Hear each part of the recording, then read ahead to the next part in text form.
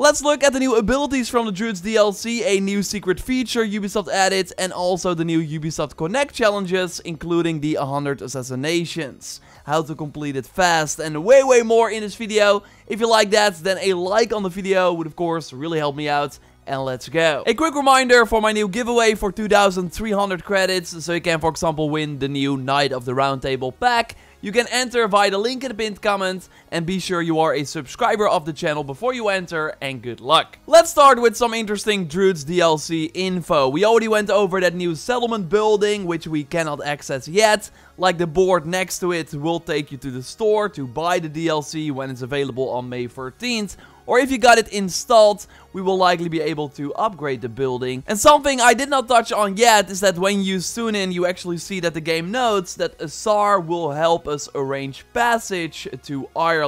And we oh, see that the character that FragNart, the German YouTuber, is voicing in the German version of the game is also mentioning Azar.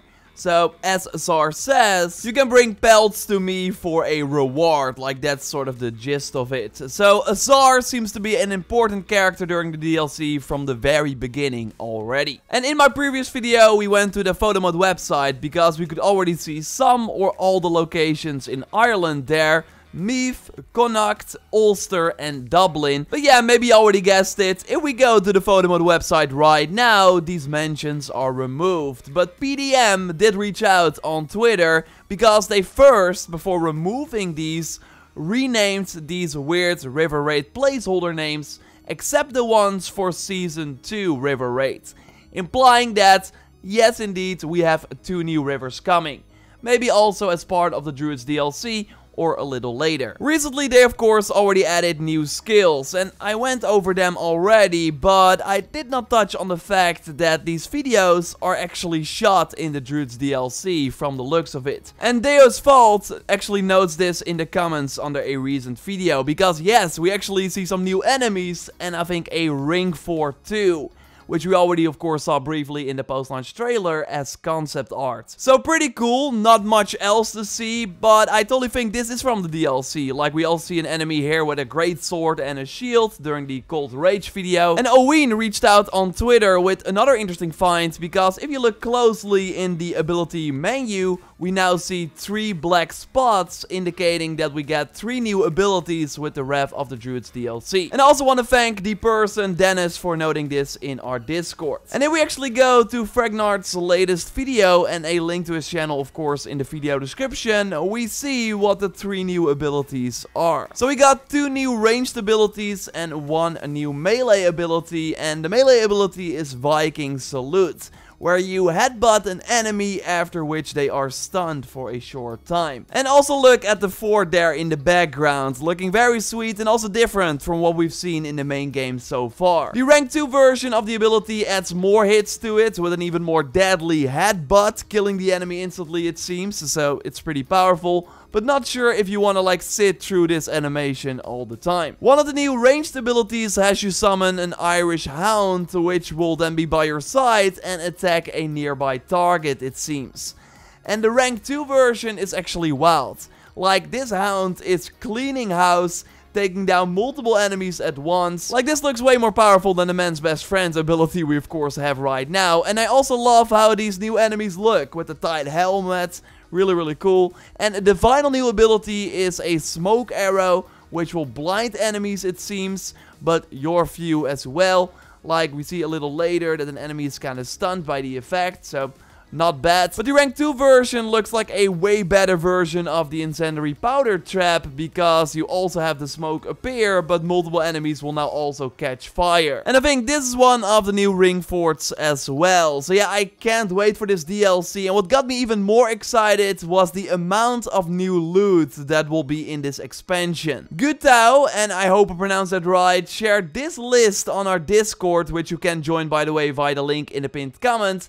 So according to the vials of the DLC, we will be getting 7 new armor sets. So that's way more than I expected. And of course that Dublin Champion armor we already saw in recent screenshots. And that Origins inspired outfit I showed you in my previous video will be part of this DLC as well. But yeah, we have then 5 more, which is nuts. 4 mounts and one of them is a Lynx. Okay, okay. And then we have some other cosmetics. And the Basim outfit is noted here too. But I would be shocked if it's behind the Druids DLC paywall. I hope it's not. And you see the amount of new weapons in the DLC right here. Interesting is that we only get three sickles. While that's of course the new weapon type being added with this DLC. No new flails or Dane axes, which is a shame. But overall, this is way more loot than I expected for this expansion. We'll of course talk more about these armor sets and weapons and how you can get them around the launch of the DLC. Oh, and by the way, the Basim outfit and sickle sword footage was from Gamerlill Games. And a link to his channel will be in the video description. Before we look at the Ubisoft Connect challenges, I want to mention one more thing that we found while playing and that Roger noted via the input at raptor.com email address that you can of course use as well well if you found cool things in Valhalla. There's namely a secret change because if you now inspect a piece of an armor set and got the full set, you can equip that full set immediately without having to select every piece individually.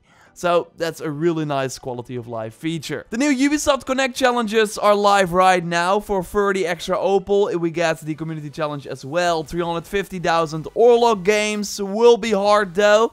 Although if everyone watching does this three times, we can make it happen. So that's like 15 minutes of work. I will keep you posted if we completed it before next Thursday. The solo challenge for recruiting a Jomsviking Viking is of course easy. Go to the your settlement, recruit the character there, and you're already done. And I will touch on the assassination challenge in a moment, so let's first go over the weapon challenges, which are actually super easy. We namely got a new tactic from James, who emailed me to the input at raptor.com email address, and Hawkeye Shen as well, so thanks for that.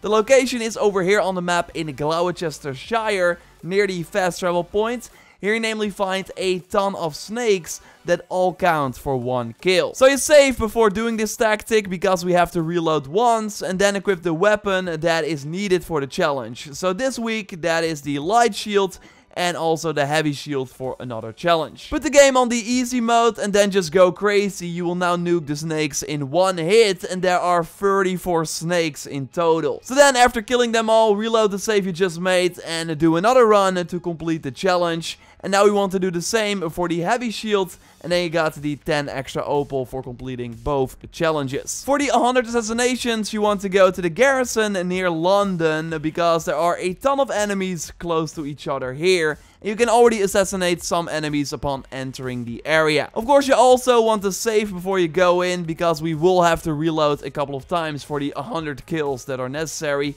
But overall, the thing is that you want to use the Thorn of Slumber it was nerfed, of course, but if you place it right, so on the ground before the target, or when multiple enemies are close to each other, then you will be able to assassinate them really rapidly after each other.